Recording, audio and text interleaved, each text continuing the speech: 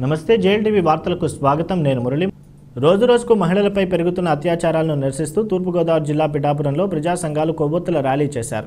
మద్యపాన వ్యతిరేక ప్రచార కమిటీ ప్రజా సంఘాల ఆధ్వర్యంలో ఈ కార్యక్రమం జరిగింది. అత్యాచారాలు మద్యం మాదక ద్రవ్యాలే కారణమని వీటిని సమూలంగా నివారించాలని మద్యపాన వ్యతిరేక కమిటీ నేత డాక్టర్ ఎన్ సూర్యనారాయణ కోరారు.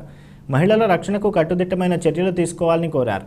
గంగబాబు కరుణరాజు అల్లవరపు నగేష్ కొండేపూడి శంకర్రావు లోవా రత్నం తదితరులు పాల్గొన్నారు. ప్రజారోగ్యాన్ని పాడు చేస్తున్న మద్యాన్ని. ప్రజారోగ్యాన్ని పాడు చేస్తున్న మద్యాన్ని. ఆడవాళ్ళు అత్యాచారాలకు కారణమైన మద్యాన్ని.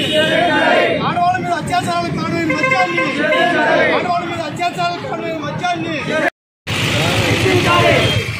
జిల్లా కన్వీనర్ని ఆడవాళ్ళ మీద జరుగుతున్నటువంటి చిన్నారి హత్యకు కానీ బొంబాయిలో జరిగినటువంటి ఆవిడ మీద జరిగినటువంటి అత్యాచారానికి కానీ గతంలో నిర్భయ మీద సంఘటన మీద జరిగిన అత్యాచారానికి కానీ ఇసుమే సంఘటన జరిగినటువంటి అత్యాచారానికి కానీ ఒక ప్రధానమైన హేతువు మత్తులో జరిగినవి అండి ఆడవాళ్ళ మీద జరుగుతున్నటువంటి అనేకమైన అత్యాచారాలకి ప్రధాన కారణం మాదక ద్రవ్యాల మత్తు కావచ్చు మద్యం మత్తు కావచ్చు.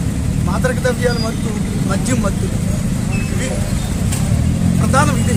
వీటిని నిషేధించుకుంటా పై పైన ఉపరితలంగా చట్టాలు చేసినంత మాత్రాన మళ్ళీ రేపో సంఘటన ఎల్లుటో సంఘటన నిత్యం ఇలాంటి సంఘటనలు జరుగుతూనే ఉంటాయి.